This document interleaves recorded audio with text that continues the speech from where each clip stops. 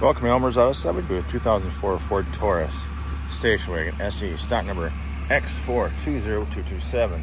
The vehicle has 222,046 miles, 3.0 automatic flex fuel.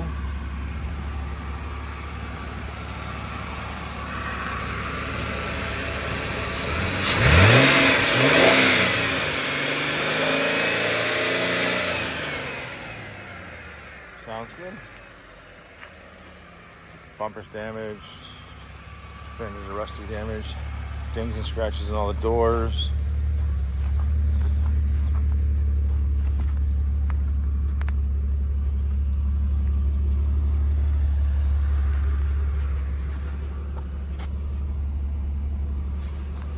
Thanks for watching.